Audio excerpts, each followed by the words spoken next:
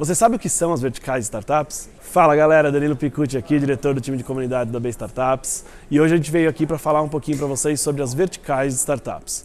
Mas antes de falar das verticais, queria convidar vocês a se inscrever no nosso canal, clicar aqui no sininho e acompanhar os nossos vídeos que a gente vai estar falando sempre de assuntos novos aqui sobre ecossistema, sobre startups, para ensinar um pouquinho mais para vocês sobre inovação e sobre o nosso mercado. Verticais são uma forma de segmentar por nichos a atuação em diferentes setores da economia das startups, de forma a gente conseguir entender melhor qual é o core business daquelas startups. Além de segmentar, é uma forma também da gente entender como estão sendo aplicadas as ferramentas digitais e os produtos dessas startups dentro do mercado.